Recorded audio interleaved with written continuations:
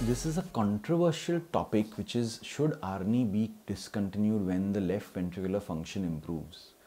We, for some unexplainable reason, find that patients have a weak ejection fraction for a long time, and once their remodeling is adjusted with ARNI, ejection fractions get better. They go above 35, 40, 50%.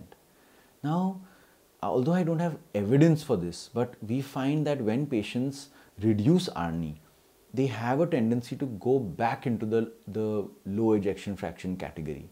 Now we have evidence that ARNI can be used irrespective of ejection fraction.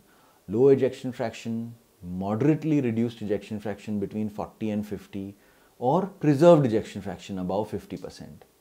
In all subsets, if we can use ARNI, there is no reason to discontinue ARNI if the ejection fraction improves.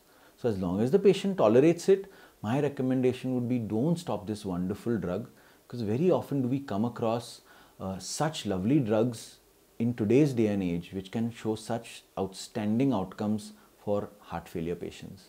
So let's offer the best possible to all our heart failure patients in terms of medical management.